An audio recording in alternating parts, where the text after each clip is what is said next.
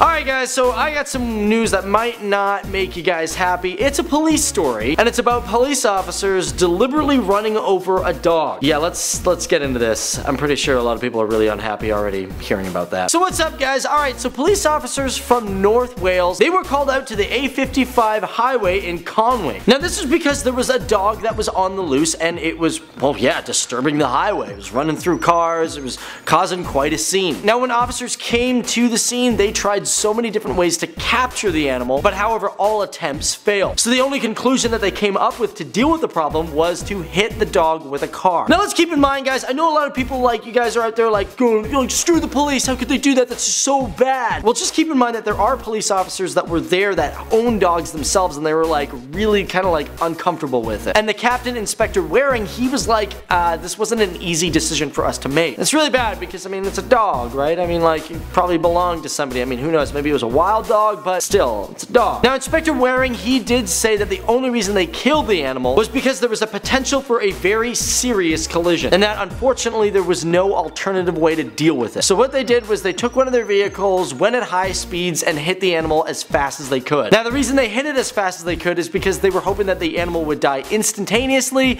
and not suffer, because that would just be really sad. But I want to know your thoughts on this. Do you think the police handled this in a good manner? I mean, if you were a police officer, would you have handled it differently, or do you think it's a-okay? Let me know your thoughts down there in the comments below, guys. Thanks for watching. I'm Dave Walpole, and as I always say, keep it real, keep it classy, keep it on the flip side out there in the real world. And you know what? Take care of your animals, okay? Bye.